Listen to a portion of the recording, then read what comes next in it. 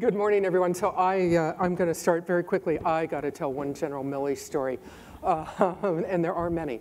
Uh, General, General Milley and I, uh, my first in-depth interview with General Milley was in the middle of where else but Afghanistan, uh, in a place uh, we may never all get back to called FOB Shank. And if you know it, it's a, in, back in the day, it was a, a, sometimes very difficult place for troops to be based. We had arranged our interview, we had our camera, it was a nice sheltered little location. On the fob, General Milley walks up, looks around, sees a hill in the distance up against the security perimeter and says, oh, let's go climb up there and do the interview up there. Um, eh, what you learn with General Milley is when he starts climbing a hill, mountain in my view, but it was a hill, and it's up against the security perimeter, the best thing to do is start climbing and keep up with him. and even today in the Pentagon, I would tell you, uh, we have a really good opportunity this morning. General Milley, clinically impossible for him to spin. We know a lot of generals in the building General Milley can't spin, he just tells you what he thinks. And so that's what I'm really looking forward to this morning. We're going to talk very quickly. We're going, he and I are going to run through a few items to sort of set the table, and then we want to move very quickly to your questions and get everybody involved. And I hope you have a lot of questions because if you don't, General Milley's likely to call on you himself and find out what you're thinking. I'm looking around the crowd right now. Targeting. Um, so, General Milley, you know, we're talking about the future of war, and I think most of us are familiar with your thinking that if you're going to look at the future of war, it starts with where you are today and how you view the threats out there in the world. It gets us to the question eventually of how much army is enough, how much army is too much, what kind of army. But let's step back and start with the threats and kind of have you walk around the world for a minute in what you see. Can we start simply with Russia? How do you view the threat the United States national security interests and the U.S. Army faces from Putin's yeah. Russia? Uh, well, first, Barbara, let me first say thanks to you and Peter Bergen and Anne Marie, my classmate. And uh, just for the record, she was in the uh, top half of the class, and I was in the half of the class that made the top half possible. So uh, that's the difference between state and defense, I guess, right? So, uh, but thanks for having me here. Uh, you know, I, where I was in the back room there and the uh, getting mic'd up, and I was watching the little poll everybody took, and I, I saw the the threats in the countries that uh, were out there was kind of an interesting set of results. the way I look at you know the world and the guidance I've gotten from uh, Secretary and others, uh, is for us to size, uh, structure, train our forces for essentially what I would, I would say four plus one. So four specific threats that are related to countries, Russia, China, North Korea, and Iran. And uh, then a fifth threat called counterterrorism. Uh, today's uh, specific organization might be ISIS, but it might be something else uh, down the road. So that, that's the general category. There's functional threats like cyber and others out there as well. With respect to Russia, um, you know, I, have tried to, over the years, study Russia. Uh, had the benefit of some great education at Princeton from a lot of great professors and have just carried that through the years and uh, in the military. Uh, Russia's faced with a series of internal challenges. Uh, they've got demographic, economic, uh, political challenges that they're facing. Uh, it's a country that has uh, been subject to land invasions many, many times in their history, you know, the Mongol invasions, Napoleon, Hitler, and so on and so forth. So they've got a set of internal challenges, and all countries operate in their own interests. And fear is a very real uh, sort of sense inside the body politic of the, the Russian people, and that's stirred hard by the Russian political leadership, I think, as well. Uh, so I think fear is a, a, player in how they behave in the international environment. and then I think pride is a big factor as well. Uh, so, you know, they were, of course, a, a, great power under the czars and, and then later under the Soviet Union, and, and the wall came crumbling down. But so where, they've got a, they want to reestablish pride. Where's that all leading them to well, today? so, so what? So you got fear and pride operating, and they got there's a lot of money at stake, there's a lot of interest. So all of that, put that cake mix together, uh, I think my read, not the U.S. government's read or anybody else's read. My read is that uh, they've put all those uh, data points together, and they said, we got to make comeback. And so about 2003-ish, uh, four-ish, five-ish, in that range, in that time frame, uh, Russia launched on a significant military modernization program. Uh, they changed their doctrine, uh, and most importantly, their behavior in the international realm changed from uh, a certain benign behavior relative to the United States interests from, say, 1990 to about 2003 or 4 or 5, uh, and then it became aggressive. So Russian behavior today, uh, by the definition of international politics, is aggressive. They are invading sovereign countries with military forces or surrogate military forces, uh, which in the realm of international law is not right. And Europe hasn't seen that behavior since World War II in 70 years. So that's a major strategic shift of behavior of a major or great power uh, in Europe. So that's a big deal. Uh, so behavior's there. Uh, you can't necessarily, you know, do Nostradamus and predict intent. You have to get into mind reading for that. Uh, but you can judge intent based on behavior. So their behavior from 2008 and the invasion of, of Georgia and the Crimea and Ukraine and, and, a whole wide variety of other things where they've used all kinds of tools of national power to intimidate neighbors. Um, that is an indicator, anyway, of intent. And then capability, their capabilities, conventional capabilities, are significantly better than what they were uh, in the 90s. And of course, they always have their nuclear capabilities. So, put all that together, to me, that's a very significant strategic challenge. How much of a threat? I think it's a big threat. I've, I've said publicly in testimony, I think Russia is the number one strategic threat to the United States of America. And I say that for two reasons. One uh, is they have the capability, they are the only country on earth that has the capability uh, as an existential threat to the United States. They are the only country on earth with the capability to destroy the United States of America. Uh, other countries have lots of capabilities. Only Russia has that capability. Um, so that's significant in and of itself. But capability without intent is just capability. You have to match it to intent. And when you get into the world of intent, you're dealing in probabilities and you're dealing in predictive analysis. It's very difficult to figure out the intent of a foreign leader or foreign power. So you look at behavior as an indicator of intent. And recent behavior since 2008 is aggressive by the Russians. So I, I have to ask, and we'll move on to other subjects, but now you got me fascinated. Yeah. So based on what you look at, when you look at their military leadership, your counterpart, right the General Dunford's counterpart, the right. chief of staff, when you look at the top leadership in the Russian military, are these people actually in charge? Are they decision makers? Or are they simply taking orders from Vladimir Putin? Well, I mean, uh, in charge of what? I mean, they're in charge of the military. But there's no doubt in my mind that there's civilian control of the military in Russia, uh, and Putin is the civilian who's in control. So, um, Does the, anybody? These, the, the Russian military, I don't believe the Russian military is a rogue military or anything that they're operating on their own. I mean, they're operating within the construct of Russian internal politics with civilian control. I guess I'm, that should rephr- I should rephrase the question. Do, do they ever say to him, hmm, maybe that's not such a good idea, here are all the, you know, like the Joint Chiefs do. You offer options, you offer ideas, you offer sure. suggestions. Or is the Russian military at this point now uh, a yes man organization to Putin? No, I think, I, I, mean, I don't know. I'm not in the meetings, I'm not in the rooms, and uh, and and uh, I would assume, I mean, the Russian military is a professional military, and I'm assuming that these guys would uh, tee up the costs and benefits. I, I take it as a given that the Russian leadership is a rational actor. The, the, all the players are more or less rational actors. So I think they would, uh, I, I, can't imagine them not uh, saying, you know, course of action one, course of action two, here's the advantages, here's the disadvantages, and our recommendation is, or something like that. Yeah. Uh, I mean, I, I, I give them credit for being professionals. So then let's move to North Korea. Sure.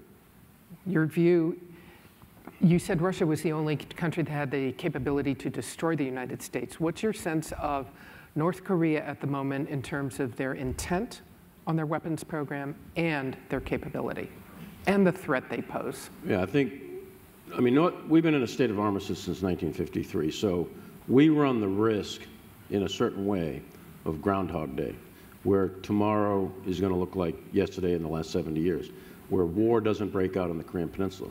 I don't know if that's such a great sort of mental attitude to be in. We take it for granted that the armistice will continue to hold and that war won't break out. If you look at Kim Jong Un and his uh, and his regime, I think there's a lot of things that have popped in the news and that indicate there's a variety of challenges going on inside that regime right now. Uh, there's a lot of external behavior that causes great concern. Uh, you know, you had the incident back in August. Uh, you had, if you go back in time to 2010, 2011, you had the uh, Cheonan sinking, you had the Waipido Island incident. Flash forward, last August, you had the uh, border incident. Uh, January, you had a, a, detonation of a very large explosion. I'm not exactly sure what type, but a very large explosion. the launching of missiles that were putting things into space, but they could be dual-use missiles, who knows? Uh, so there's, you know, of course, all the rhetoric that, that happens. Now, some of this is routine in that it happens every year and you sort of get lulled into complacency on it. Uh, but there, there, is a, there, there are enough differences that North Korea bears very close watching. Uh, the risks are very high. It's not an existential threat to the United States, but war in the Korean Peninsula, from a human perspective, would be catastrophic. Seoul is a city of 25 million people. There are 25 miles from the DMZ. There's a million soldiers on either side.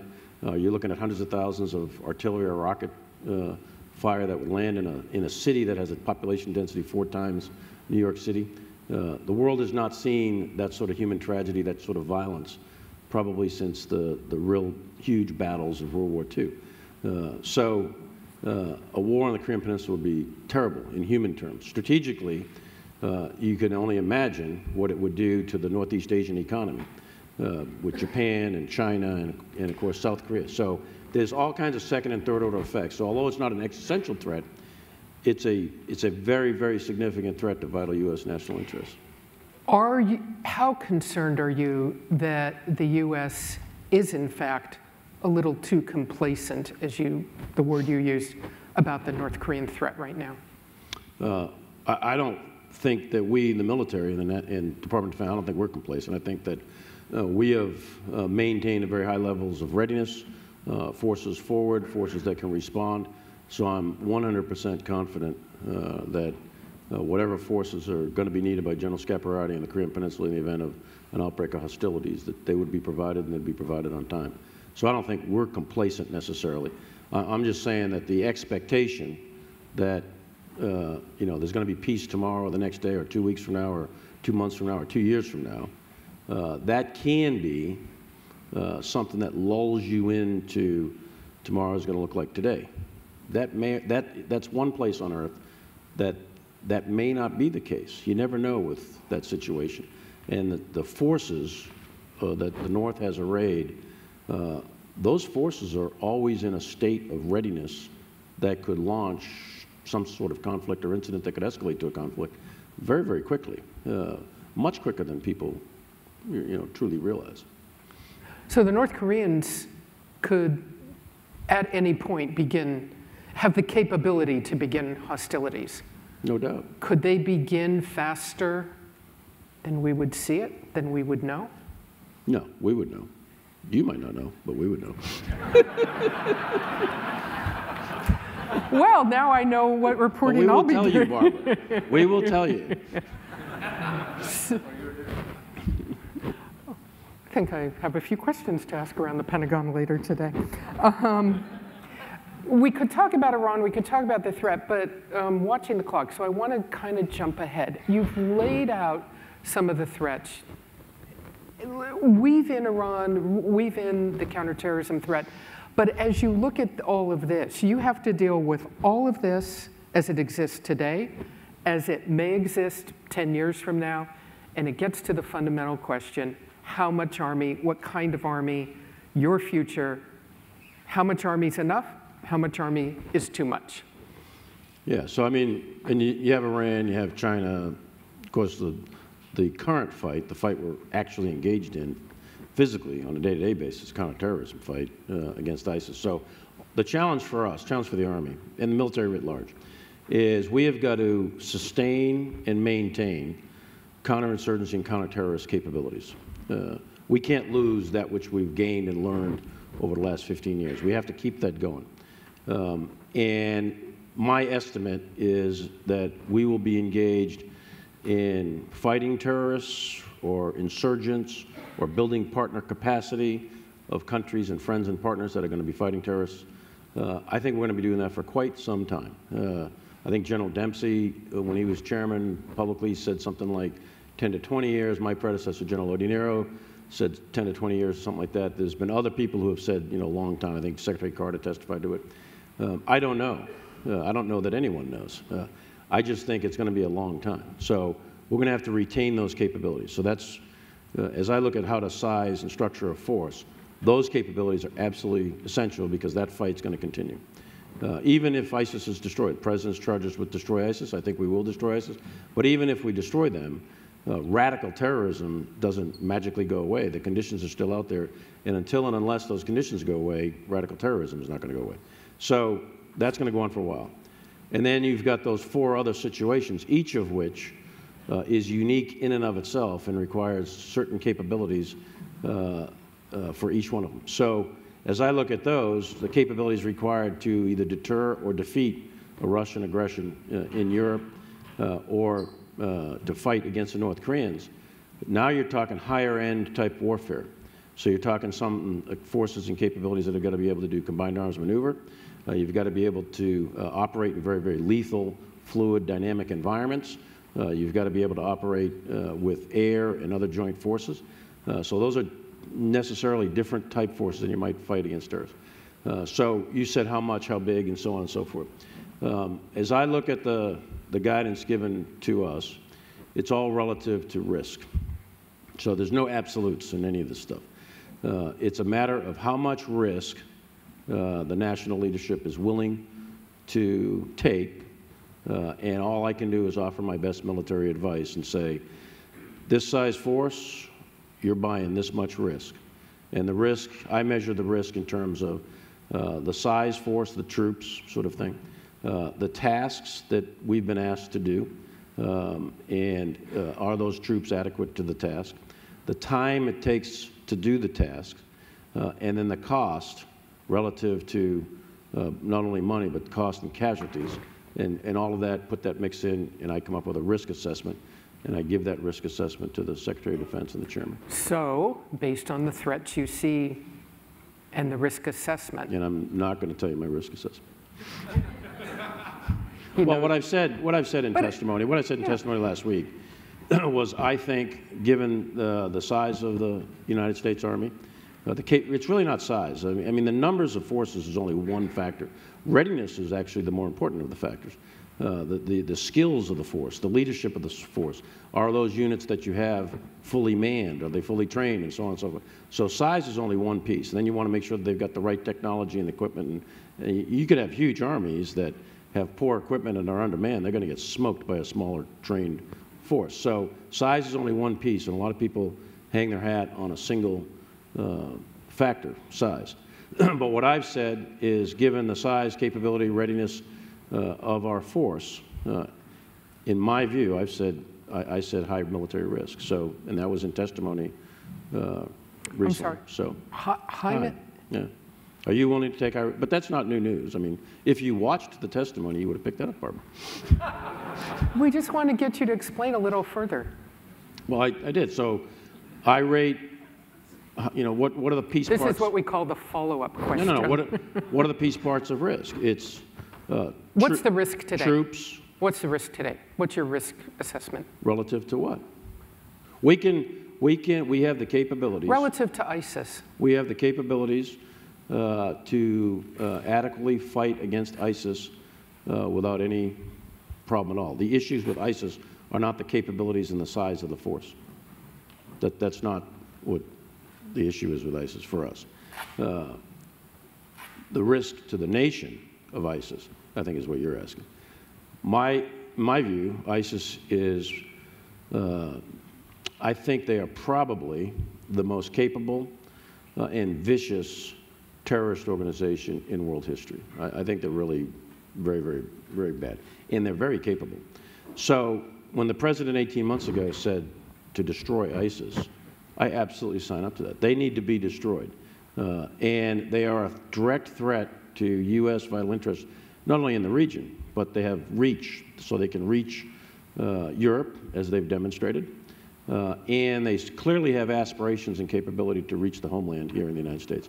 So ISIS is uh, bad in and of itself, uh, but relative to our interests and our own protection, uh, they have capability, uh, they have intent, they have aspiration, and they need to be destroyed, just like the president told us to do. While they have inspired attacks clearly in the United States, your assessment on their ability to uh, plot, plan, and carry out themselves directly an attack in this country?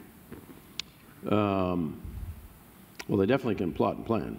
Uh, Whether or not they can execute, I mean, I have, uh, I have a lot of confidence, hopefully it's not misplaced, I have a lot of confidence in other agencies, CIA, FBI, uh, Customs, Border Patrol, et cetera. Uh, And we are very fortunate, uh, every American's very fortunate at the great work uh, that those folks are doing in an unnamed way every single day, day in and day out, to protect the American people. So I think our defenses are pretty good, but no defense is 100%. And uh, these guys, ISIS, uh, like I said, they have capability and they have intent. Uh, and they're going to continue to bang away until they get in here, until we destroy them. So we need to destroy them. We need to uh, get on with it and get them gone. When you look ahead, and we start thinking of your questions, we're going to start in just a few minutes on questions. But when you look ahead now to the future, everything you've laid out, talk to us for a minute about technology. Um, one could make a case, very briefly, that the military, there have been some technical changes, but essentially is fighting with the same kit that it had uh, Right, to a large extent when Desert Storm. Look ahead, what do you see in Army land warfare in terms of new technologies, cyber, robotics, whatever? Yeah. So I break the, the future into a couple of chunks of time uh, for uh, my analysis and, and the guidance I've given the Army staff. So, uh, but first of all, you got to start with, with uh, the nature of war and the character of war, which sometimes those are synonyms a lot of people use. The nature of war is basically immutable. It's, it's probably not going to change. It's all about war is all about politics, always has been. Uh, so it's about imposing your political will through the use of violence on some opponent. Uh, it's all about friction, chance, and all the things that guys like Clausewitz and Sun Tzu always talked about, right? So that's those truisms, if you will, they're going to stay the same. That's the nature of war. What changes all the time is the character of war. And that's based on organizations and training and your national political construct and technology. Technology is usually one of the big drivers of the change of character war. So as I look forward, I see a chunk of time for ground warfare, not air or maritime uh, or space or cyber in those domains. But for ground warfare, I see uh, between now and about five to 10 years from now, which is essentially the budget cycles of the U.S. government, the FYDPs, um, I think that we in ground warfare have a set of legacy systems that realistically are going to be improved at the margins, uh, and you're not going to see fundamental change in the character of ground warfare. Fundamental change. And what I mean by that, I mean uh, to go from the smoothbore musket to the rifled musket was a fundamental change. To go from uh, the horse cavalry to the tank or mechanized forces, fundamental change. The introduction of radio communications, fundamental changes. So I don't see fundamental change in the nature or the, or the character of ground warfare in, say, the next five years, 10 years, that range. But when you get beyond 10 years, I do see that. I see fundamental change. So if you look at technologies that are out there, in the area of, uh, uh, of mobility is a great one because you know robotics is making great advances in the commercial world. There's military application. We're already using robotics. That's what drones and UAVs are, robots of, of a sort. Some are remote control. Um, but you could, I can envision a force, a, a ground force, uh, sometime 10, 15 years from now, uh, where a lot of your convoys, your resupply, your logistics, all that stuff where we expose soldiers to IEDs, et cetera, that those are done by robots. Th those vehicles are autonomous vehicles. You load them up with ammunition and chow and so on, and you plug in the grids and boom, off they go. Now the domain of ground combat is fundamentally different than air or maritime. It's not as clean. You got the, you got the earth and the surface of the earth. Uh, so it's a little bit more complex. So the application of robots to ground combat, we still got to work through all the problems. But it's clear to me that 10 to 15 years from now, robots are going to be a, a very significant component. Then you've got uh, also other things in the area of mobility. You got fuels, you got materials. Uh, we're right on the cusp of some really significant material breakthroughs uh, in terms of lightening up armor. Uh, you've got areas of protection, uh, like active protective systems that are out there. Several countries actually are having them. We're developing. Um, in information technology, I mean, that, that thing has been spiraling for a long time. So we've got a lot of areas of information technology. In fact, it's a great vulnerability is our reliance on space systems and GPS and so on and so forth for our navigation our precision weapon systems. So you've got a lot of areas of uh, you know lethality and shooting. There's a lot of things being done in the world of kinetics right now. Uh, you know, we've been using gunpowder for I guess three or four or five hundred years now. so there's things being done in the world of gunpowder where you can take this much gunpowder required to project an artillery shell, and maybe you only need that much gunpowder. And you can automatically see that the implications for logistics, for cost, for the size of your forces, et cetera, are going to be different if that were true. Uh, and we'll see. That, that's stuff that's all being tested. There's stuff in lasers, uh, rail guns that the Navy and Air Force are doing that may have application to the ground. So there's a lot of technologies out there today that we see that are emerging that, in my view, are going to have clear application to ground warfare. And I think, I'm not 100% sure, but I am pretty sure uh, that the, the, some of those technologies are going to change the fundamental character of ground warfare a decade or so from now. Hmm. Uh, and we've got to lay the, lay the, lay the, uh, you know, the structure down today for the research and development and the acquisition of those systems. I don't know if that answers your question. It does. All right, let's get to some questions from the audience. Um, I'm having a little trouble with the lights, so I think we have microphones out here, um, which we need to get to people. Can, um, and if we don't, we'll just have people stand up and. Uh, the man from Harvard. He, he went to Harvard. We'll, we'll start right here in the front. he went to the number two school. so, well, and I'm very loud, so I'll have to be careful not to be too loud the microphone. And why doesn't everybody say their name and uh, so the general knows who's, who he's talking to? Sure. Sydney Freedberg, Breaking Defense, and yes, Harvard, uh, long time ago. Uh, to follow up on a thread about the research, development, acquisition, uh, which you have to start now to get things in 10, 15 years, 20 years, uh, even given how slow the system is, you've submitted a report to Congress in response to their statutory requirement saying, these are changes I am making in the Army acquisition system with the new authorities given to me by law. Uh, these are changes I would like to see. And as I read it, as people characterize it, it kind of looks like the Army is saying, we'd like to be able to opt out of a lot of oversight. You call it delayering bureaucracy, but it's opting out of a lot of oversight by the Office of the Secretary of Defense, uh, DOT&E testing oversight, CAPE cost assessment over oversight, and uh, some analysis of alternatives oversight as well. Um, A, am I portraying this fairly? B, why do you need to get out from under this bureaucracy? And C, given the Army's kind of terrible track record at major acquisition programs getting canceled, why do you guys deserve this chance? Um, thank you, Harvard. yeah, yeah, no, I'm really glad I picked on you. So, uh, I actually you would use the phrase opt out of oversight. I wouldn't use that phrase uh, because Secretary of Defense uh, and the chains of command always have oversight, uh, just like I always have oversight. Whether or not the rule says X, Y, or Z, you have oversight. If you're the superior headquarters, the way the military works is you always have oversight. And you can never give up that oversight, by the way. So you're always responsible and accountable for that. what I'm asking for, you know, first of all, what's the problem you're trying to solve? We're trying to figure out ways to speed up uh, the acquisition system. Um, some of these systems take multi multiple years, some of them decades, uh, to develop. Uh, so the original requirement, by the time the thing is developed, uh, the commercial sector or the technologies overcome the original requirement to begin with. So you've got some issues in terms of flash to bang, how fast you deliver to market or deliver to the customer uh, the, the system or the capability that was originally required to begin with. So the system is slow. And I think anyone out there uh, would argue that the system is slow. Why is it slow? Uh, part of it is the layers upon layers upon layers. the famous one that's recent is uh, the pistol, right? So that's a relatively simple technology. It's been around for, I guess, five centuries or so.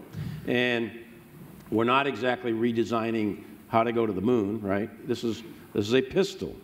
Uh, and arguably, it's the least lethal and important weapon system in the Department of Defense inventory. A pistol, right? This thing's been out there for nine years or 10 years. Requirements, 367 page requirement document. Why? Well, lawyer says this and lawyer says that, and you have to go through this process and that process. You have to have oversight and, you know, this, that, and the other thing. Look at, I, I think that large bureaucratic organizations are, or large organizations, whether bureaucratic or not, I think the best methods of management are to empower and decentralize. Uh, I think that I should be able to look at someone and say, here's your task, here's why you're doing it, here's the purpose, here's the end state that I want you to achieve by such and such a time. Go forth and have at it. If you succeed, you're promoted, and I give you a medal.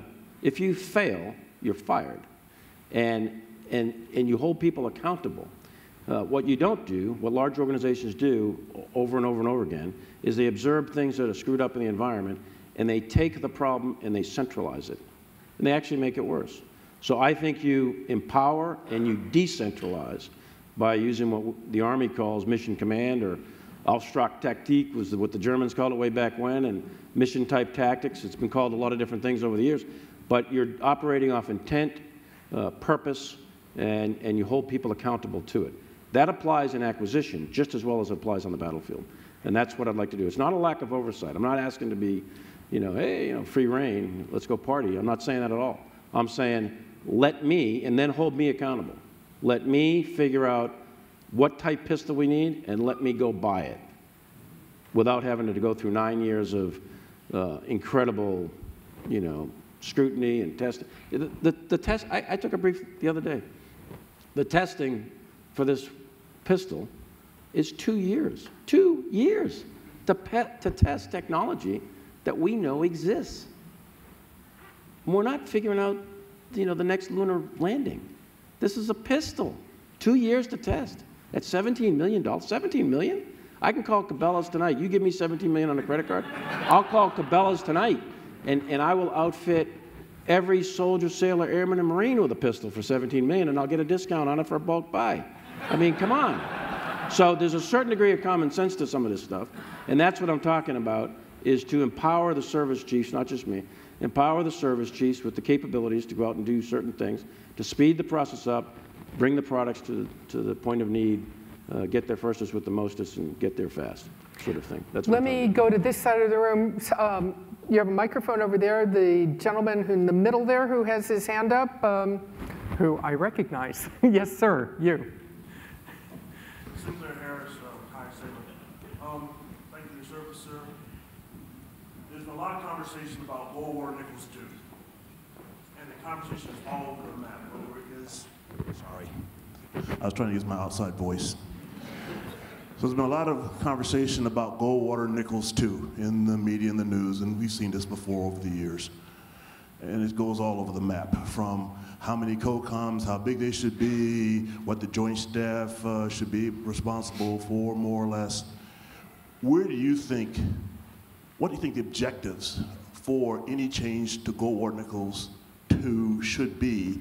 And where do you think the conversation ought to lead? Because right now it's all over the map. Yeah, no, I, I, agree. I think there's an awful lot of ideas and proposals out there.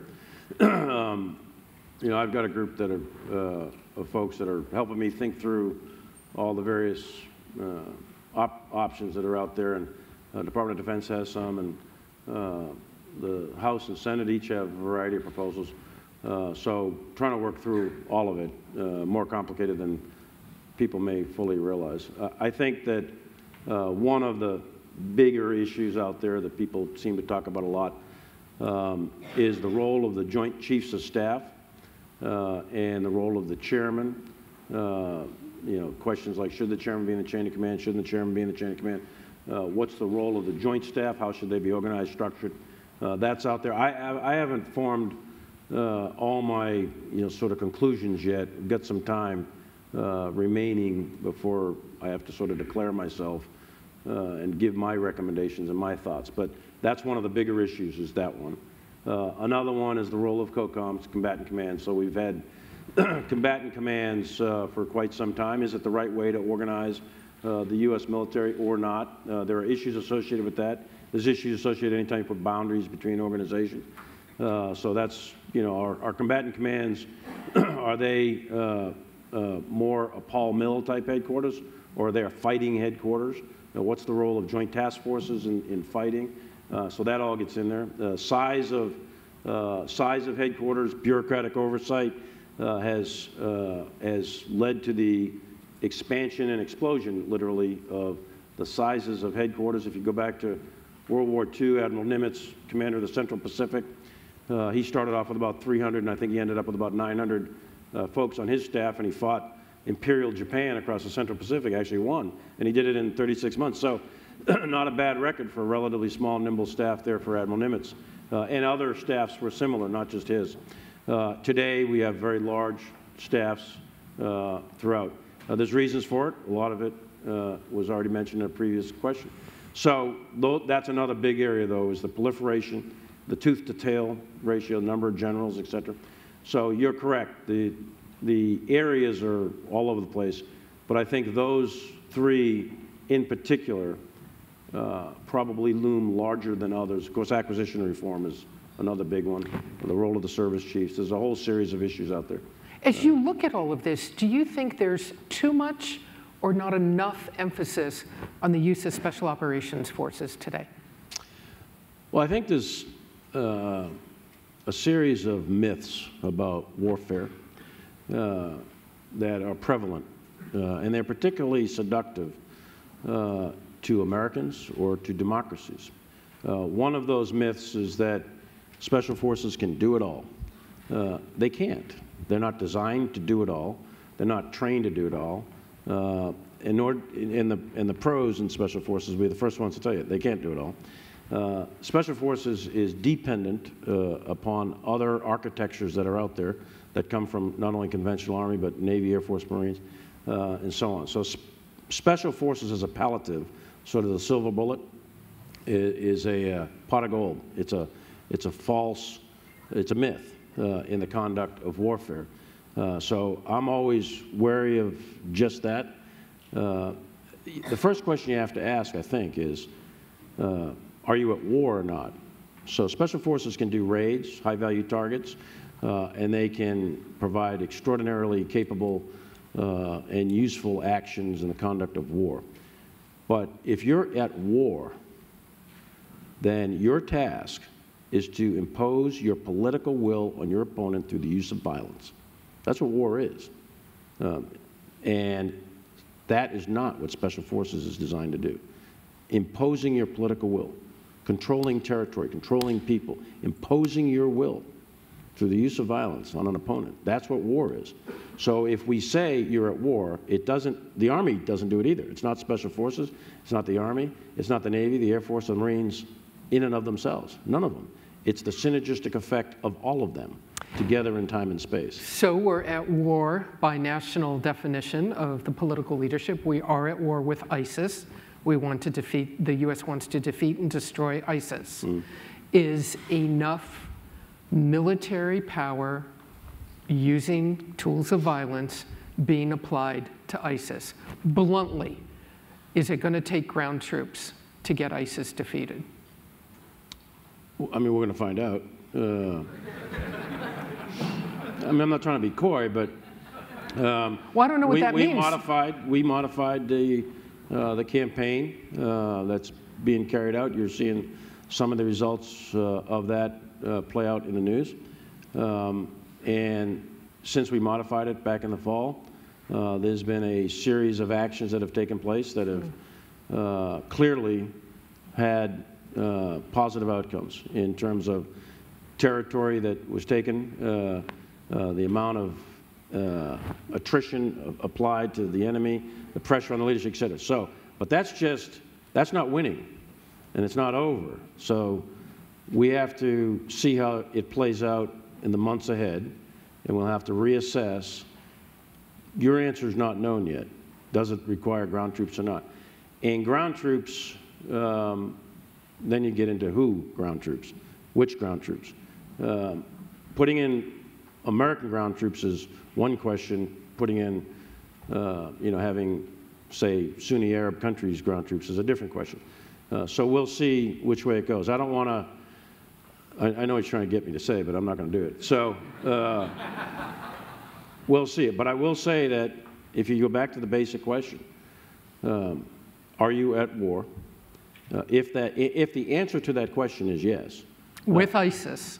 All right, if you're at war with ISIS, if that answer is yes, then there are certain requirements based on the logic of war that more or less have to be done uh, sooner or later.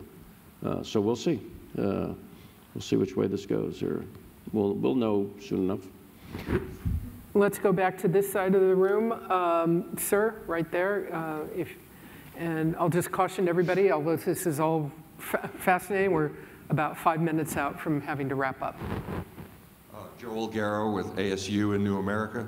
Uh, I was struck by your comment that there was no fundamental uh, change to war that you expected in the next 10 years.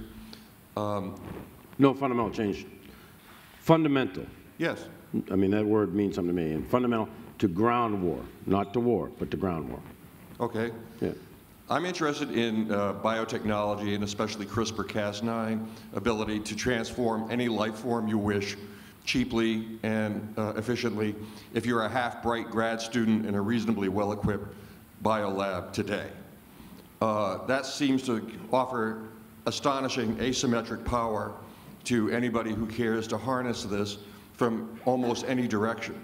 What is your expectation of um, bioengineering, especially as regards to transforming humans, either offensively or defensively? Um, There's research uh, on man-machine interfacing, on uh, the interaction between man and machine. I think Peter Singer's here, he's written some books on some of this stuff. Uh, There's a lot of research on it. My point about the next 10 years, I do not see the research advanced enough to have a practical application to military operations on the ground in the next 10 years. I'm not seeing the reality of it. The possibilities there, there's research out there on all these, on that and many, many more things. Uh, but what I'm talking about in terms of that time frame, I'm not seeing that reality where we have it in the hands of soldiers and it's, and it's real on a battlefield in the next 10 years for ground war. There's certainly peace parts to it. Uh, we're already doing things, you know, in the medical world, uh, in treatment of casualties, there's a lot of research been done. We're already applying some of that stuff. In, in information technology and protection, we're, we're taking piece parts of these technologies and applying them right now. But fundamental change, widespread application, changing the character of ground warfare, I, I, am not seeing that. I mean, it's taken us nine years to figure out how to do a pistol, so I don't see why, why would I Let me have one last question from this side of the room. Sir, right here in front. Yes, sir. Uh, We may not, I don't know if we need the microphone. We do for everyone to hear. I'll give 30-second answers. You can do three questions. All right. One doesn't say no to 30 General seconds. Milley. You can time it. Good morning. My name is Michael Hustishin from the U.S. Agency for International Development, Office of Civilian and Military Cooperation. And many today uh, posit that in today's increasingly complex and unpredictable operational environment, we need a comprehensive approach in order to solve the challenges to our national security. General, I'd be interested in your views, what the priority areas are for collaboration with other agencies within our interagency. I mean, I couldn't agree more. I think you have to have a whole of government interagency approach, and I think it's beyond that. I think it involves uh, international partners as well. Uh, the military is only one tool. USAID is yet another. The CIA, Intel, uh, Department of State has a variety of other capabilities. Uh, I, I think you have to bring it all together. Uh, I, I don't think what, uh, in terms of actual war fighting, uh, it's not the Army. It's the Army, the Navy, the Air Force, the Marines. It's cyber, it's space, it's bringing all that together in time and space. To win a war takes a nation, and it takes the synergy of all of these agencies. And, and frankly, to win a war, it probably takes an alliance, and it takes the synergy of everyone uh, working together to achieve the political end state. So I absolutely agree with you. All right, let's have, ma'am, right here. I see you. Stand up. We're running out of time. Now, you're hard. I don't want Peter to have to give us To both make the an hook acquisition officer. publicly. Sure. Ulrike Franke, University of Oxford. Um, what role do you see for drones and robots in any hypothetical conventional high-intensity war, both within the next five to 10 years, but also within the next 15 years? And what systems and capabilities do you think we should focus on now? There's, uh, and we're already using drones, as you say, are unmanned aerial vehicles, uh, and they come in kind of two varieties. One is controlled, someone with a control stick, and another is autonomous. so there's already robotics out on the battlefields today. We're using them in explosive ordnance disposal and stuff like that. But the large-scale application of the use of robots for ground combat, one area that I think is very promising is specifically the area of logistics. because we spend, an, uh, any modern army has a, a re relatively robust logistical tail uh, for fuel, ammunition, food, water, et cetera. And you have to carry that from point A to point B. And, and when you get it, you know, get it close to front line sort of thing, or, or even if there's no front lines in a particular war, like a guerrilla war in, uh, in Afghanistan, Iraq, uh, you're exposing your own forces. Uh, and then also it takes a lot of protection, uh, convoy protection forces, et cetera. So if we can use robots to deliver that stuff, uh, I'm certainly not exposing ourselves to casualties, and it reduces the amount of protection that I need to, uh, to, to uh, secure those convoys. So logistics would be one area that I'm taking a hard look at. I could envision someday convoys of unmanned vehicles full of ammunition and chow and so on, bringing things from uh, some rare area to wherever it is you have soldiers that need to be resupplied. All right, I'm going to apologize. We are getting the hook. Uh, we are out of time. Um, right, Peter? Well, yes, Peter says I'm getting the hook. Uh, I want to thank General Milley. I think I, everyone here can agree this is why um, this is why when General Milley's out speaking in public, the Pentagon press corps turns up because General Milley is always worth listening to and we always learn something. Sir, thank you very much for your time.